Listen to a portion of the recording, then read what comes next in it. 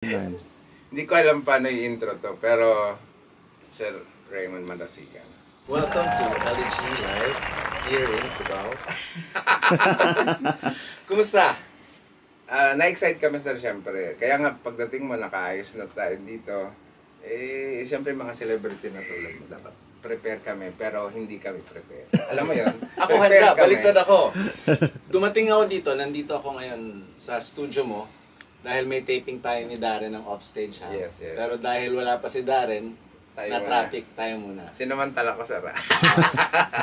Ito, Yun. ito na, uh, pag-usapan natin to, ano tong bagong gitara mo? Yan, sabi Hindi nakatono eh. Drop D. Ah, drop D. Ah, drop D. Um, eto sir, um, syempre, tulad nga ng nalaman namin, nagsusupport ka talaga ng locals. Kahit mapaanong brand pa yan, pinapakita ko lang yung gawa namin. Um, hopefully meron din si sir at pumayag si Boss Darren. Gusto ko maging honest eh.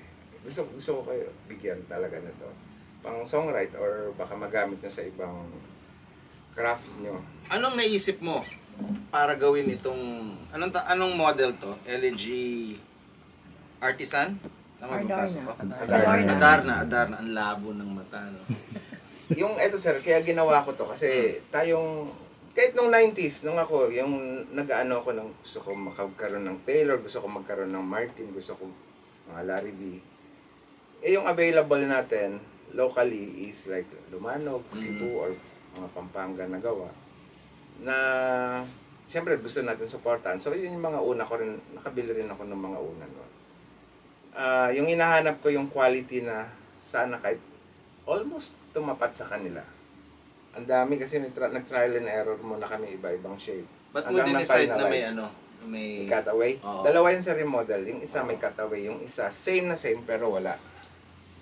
Eh, eto, sa mga gusto mag, ano siguro, mag-explore sa higher frets. Mm-hmm. may ano ako sa cutaway na acoustic eh. May, may, May trauma aversion. Hindi, may aversion ako sa cutaway. Wala lang. Aesthetic. Hindi naman tama o mali. ka. Oo. Meron lang. Yung personal ano ko lang. Okay. Ano pang ano pang ibang features nito na palagay mo magandang ikwento? Maganda yung kwento sa yung ano, yung of course yung nakasukat sa pang Pinoy, lalo na yung neck. Ibig sabihin, mas... Mas yes, user friendly siya sa Pinoy kasi yung sukat. Although maraming brand kasi sir na parang fusion ko na yung mga gusto ko sa kanila na in-integrate namin dyan. Then, yung best na kahoy na ah, na para dun sa, sa price point na ito. Ito yung Anong, ano, anong price? Nasa market na ba to? Mm, hindi talaga yung parang, alam mo yun, parang boutique pa rin siya eh. So online o dito, Dito, lang, talaga sa amin. Dito lang. Oo, wala, wala. Sa LG lang makukuha. Yes. Sa ngayon. So, ito, ito, naka all solid na Indian rosewood back and side.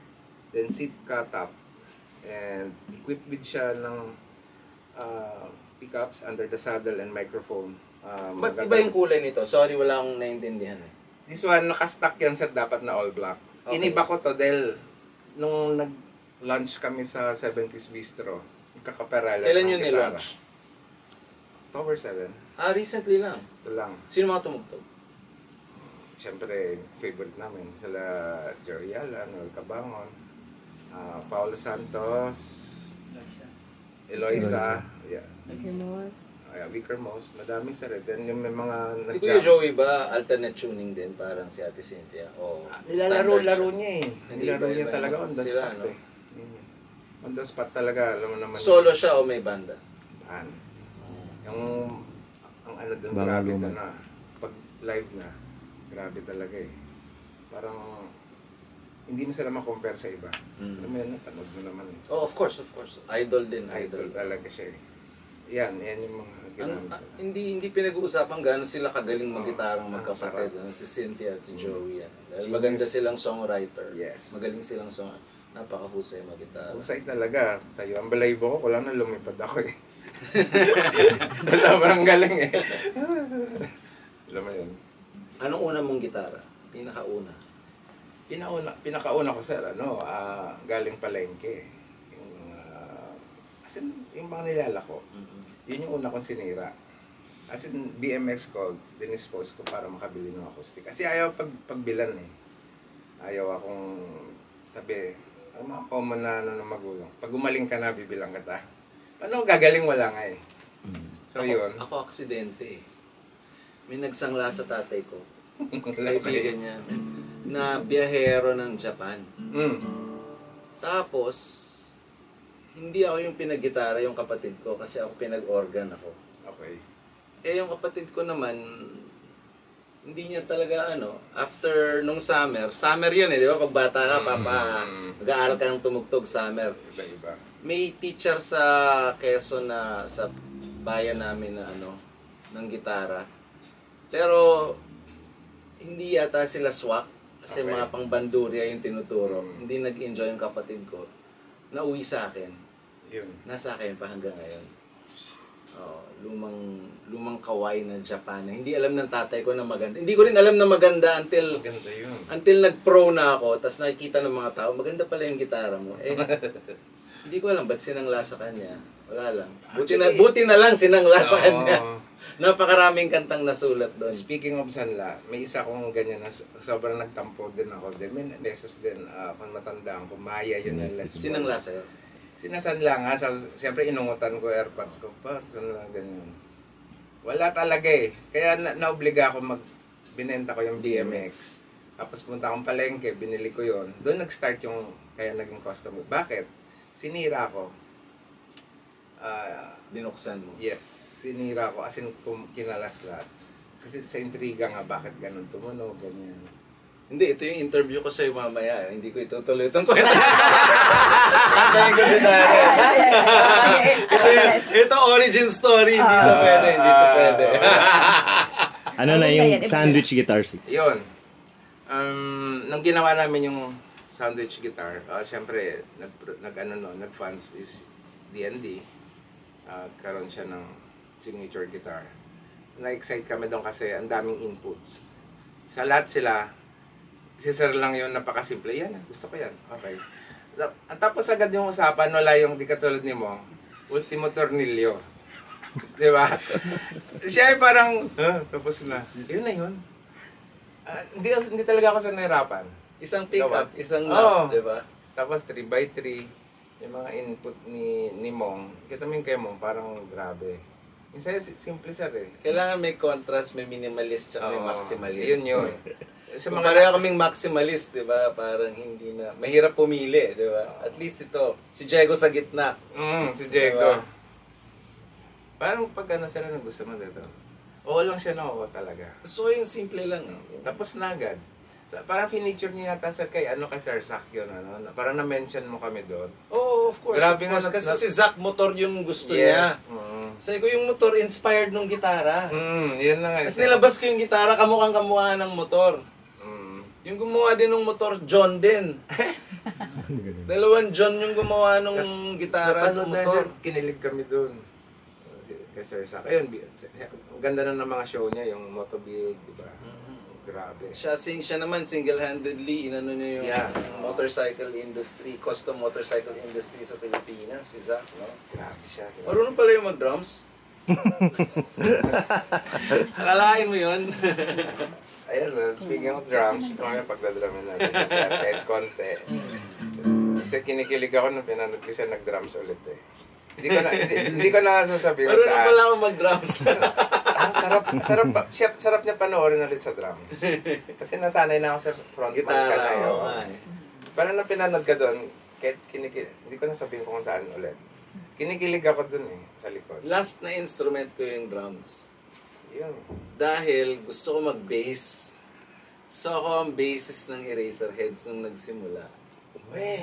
Oo, eh lagi si Buddy, mali. mali yan. Ano si Sir Buds nun? Anong... Drummer siya yung Ah, drummer. Kasi pareho kaming keyboardist eh. Pareho kaming Okay. So nagki-keyboard. nag-switch yung switch Parang kayo. eh, eh, new wave eh. So kailangan may drummer. Eh, ayaw ni Marcos mag-drums. Gusto niya mag-gitara. Si Ellie gusto mag-gitara. So sige ako gusto ko talaga mag-bass. Ah, Ayaw sa akin ng bass. si Malay, mali, mali, mali yung ginagawa mo. So lagi niyang ganito, lagi niya tinuturo sa akin yung tama. Sabi kasi ako na nga lang mag-drums. so, Eh, punk rock eh, di ba? Ako Pero na mag nung time na yun, sir, nag, nag-formal study ka. Wala, wala. As in, ano yun? Oh, kaya kaya ganun yung tugtugan. Hindi na, pero na, late, later na, later mantika na. Una kay Mang June, regalado. Ah. Una si Mang June, tas hindi ako nahihiya magtanong eh. So, Ah. si Mang, at saka mababait yung mga drummer. Mula kay Mang June, si Paco ng Intro Voice, kapitbahay ko yun eh. Si si Michael Alba, Ah. di ba? Nag, nag, nag-enroll kami. Manti din ako eh. Nag-enroll kami kay Michael Alba. Pero wala akong kwento mag-drums. Hindi, pero yung Ah. mat- yung tinuturo naman ni Michael kakaiba rin, Oo, eh, di ba? Parang ano. Ayan, si. Darren. Hello. Ay, Sir Dar. Ganda, ganda dito ah. Gines na ako sa episode niya. Nice. Ayan. Para isa. Ah, Set up tayo? Sige, sige. Okay. Wala ba yung rider? Nandito na. Ano to? Ayun o, yung mics. Aabangan nyo rin yan sa... Sa offstage ha. Oo. Crossover ah. So, eh. mag-ano to? Multiverse. to. Mm, Doon mo itutuloy yung Doon kayo kwento. tutuloy yan. Masyadong interesting yun eh. Yan yung root sir eh. mm Oo. Yun ang origin story mo. Galing. Anyway, itong gitaran to, ah, ready na sa for live and recording. Mm, matitest mo yan? Ito may pick up. Yeah. Saan yung volume? Ito sir. Ah, Sound yun. Kasi- Kaya diyan ko nilagay. Ayaw Tama, ko nga. sirain yung Tama, wood. tama. Mas, mas, mas maganda rin eh. Mas maganda aesthetically wala Yes. dito. Bakit nakadrop din pala yun? Nag-date lang yung ko kanina. Ah, siya yung huling kumawa pala pala kanina niyan. hindi. 90s eh. Oo, yun. Yung project sa Rog. Ay, papasalamat kami syempre. Ah, biglang interview with Sir Rames. Parang ikaw yung in-interview Rames eh. na lang, ba't Sir Rames? Ayaw ko talaga ng Sir Rames. Para akong ano eh. Si paring Rames. Eh. Yan. Yan. Yan. Si Brother Rames. Yeah. Kasi, ano, nasanay na siguro ako sa, ano, sa mga.